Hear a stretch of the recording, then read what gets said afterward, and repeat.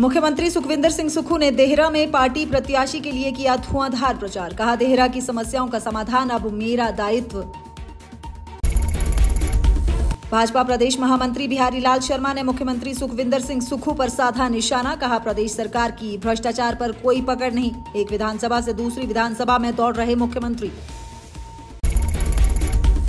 सोलन में पर्यटन उद्योग में स्वच्छता मानकों को और बेहतर करने के लिए स्वच्छता ग्रीन लीफ रेटिंग की गई शुरू।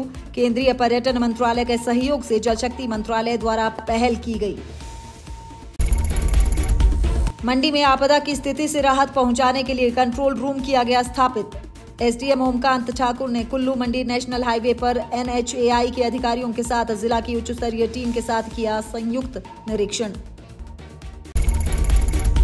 सिरमौर में उद्योग मंत्री हर्षवर्धन चौहान ने तीन सौ अट्ठानवे मेधावी विद्यार्थियों को शाइनिंग स्टार अवार्ड से किया सम्मानित। सम्मानित विद्यार्थियों में 270 छात्राएँ और 128 छात्र शामिल।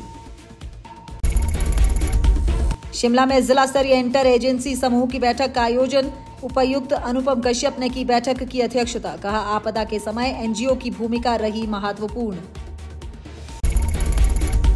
प्रदेश में भारी बारिश के चलते विभिन्न स्थानों पर भूस्खलन।